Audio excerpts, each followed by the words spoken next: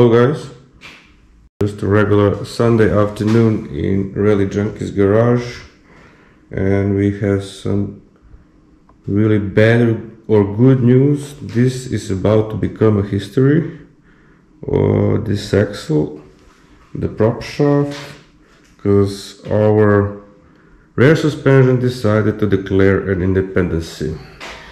So I will just go quickly through this. It's a heavily modified Lada axle with a Watts linkage, the same like you can find on the Escorts, the Atlas axle. Why did we decide to make a swap? It did serve us well for last two seasons, but we had a broken prop shaft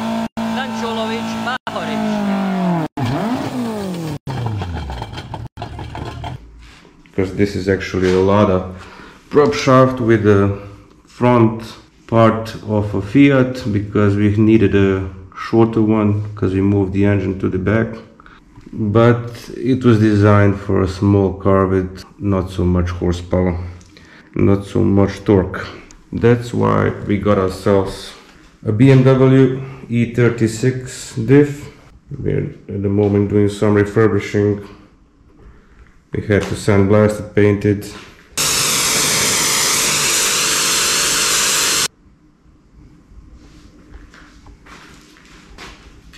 The idea is to remove this triangle, actually the mounting point we used for the Watts linkage we need to design complete new multi-link suspension complete new subframe that will accept the diff of a BMW the uprights and so on and on. It's gonna be a big task but the winter is long and cold. As you can see here we did some measurements already. We're gonna use upper A arm and on the bottom we're gonna use multi-linkage uh, toe, toe arm and uh, and the link and the link to the front. Uh, it's much easier if you come with me to the computer. We have some preliminary sketches and design as you can see. Let's go.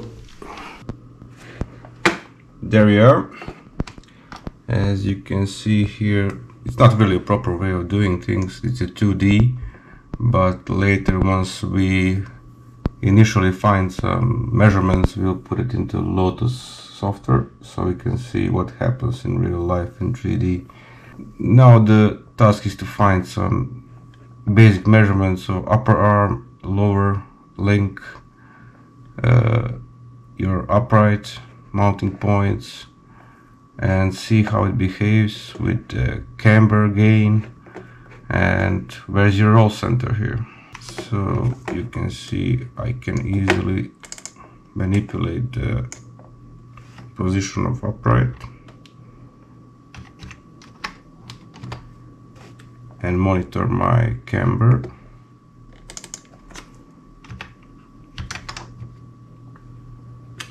Now the trick is course finding the right setup of your linkages and your upright measurements and keeping the roll center at the rear as high as possible at least slightly higher than the front. And of course finding the right setup. Now course we need to make a subframe that will accept our BMW diff. Uh, we need to position it correctly. The idea is to use the prop shaft of uh, BMW E46 diesel. We hope it will be strong enough. Uh, the uprights will be billet aluminum. Uh, why such a kind of a strange design maybe uh, this of course will be the toe correction arm. It would be much easier if you could design the mounting points for the upper arm and the lower arm and build it completely into upright but as you know this is rallying and smashing your wheels into bumps and uh, curbs and whatever is quite often thing you do. So you don't want to waste your upright in such occasion if it happens. That's why we will use pins that are replaceable. Something similar we did in the, in the front. I will open the front just to show you.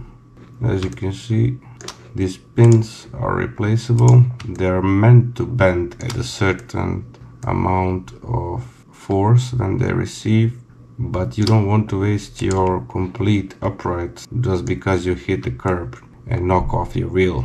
So this is the idea behind that. We need still a lot of work here.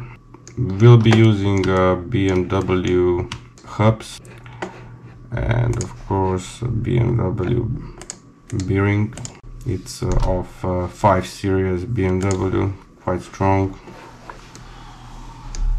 so please stay tuned and we'll go more into details once we get this far from being a preliminary yeah.